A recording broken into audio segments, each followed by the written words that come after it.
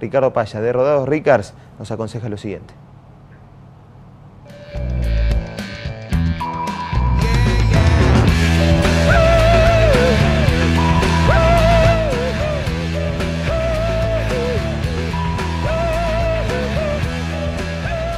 Por suerte llega, la temporada linda para disfrutar de la bici y sí, lo ideal es tener todo en condiciones todo el año, pero en el verano uno anda más distendido es fundamental, la hidratación sí o sí, pero primero que nada un casco, el casco tiene que estar bueno, el casco una vez que se golpeó no sirve, ya absorbió el golpe, cumplió su función, que vos sigas vivo obviamente, ya está, ese no va, quedará muy lindo estéticamente, pero cumplió su función, hay que buscar otro.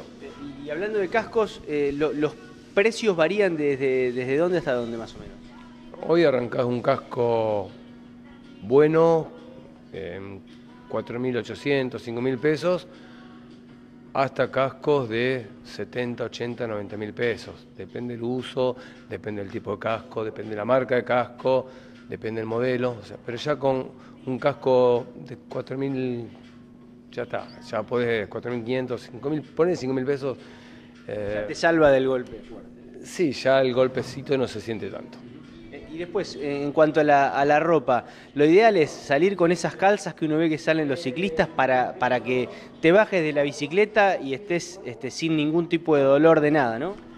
Mira, el tema de la calza es un tema, eh, digámoslo, que mucha gente va con vergüenza. Si vos estás subiéndote una bicicleta para hacer actividad física, es lo mismo que cuando vas a jugar al fútbol, que cuando vas a correr. Tenés que hacerlo con la indumentaria eh, adecuada. La calza es fundamental para tener un, disfrute de tu actividad. Entonces, lo mejor que puedes hacer es te pones una calza, aunque quede feo o no le gusten, porque se nota la badana, se nota el refuerzo, es lo mejor que tenés que hacer. Vos calculás que estás sentado en un asiento que son finitos, el 90%, a molestia vas a tener, obviamente, y si no es lo mismo estar 20, 30 minutos que hacer un día, bueno, hoy hago una salida, clavaste 3 horas, 2 horas, y sí, cuando te bajás te duele desde, la uñita del pie hasta la ceja, pero te mejora muchísimo el andar, te da más protección, no te irritas tanto. Y en cuanto a las remeras, ¿qué vienen? ¿Vienen con, alguna protección de, rayos ultravioleta? ¿Vienen con, con eh, algún antitranspirante o algo así?